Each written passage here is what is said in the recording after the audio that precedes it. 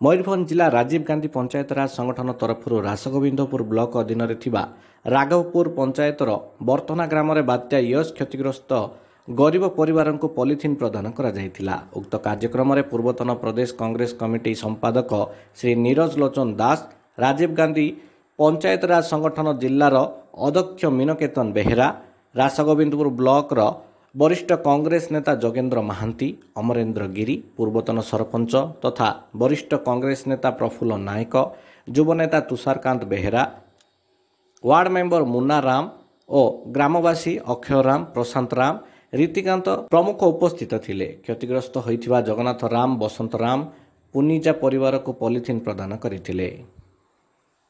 ମୟୂରଭଞ୍ଜରୁ ଘାସିରାମ ବେହେରାଙ୍କ ରିପୋର୍ଟ।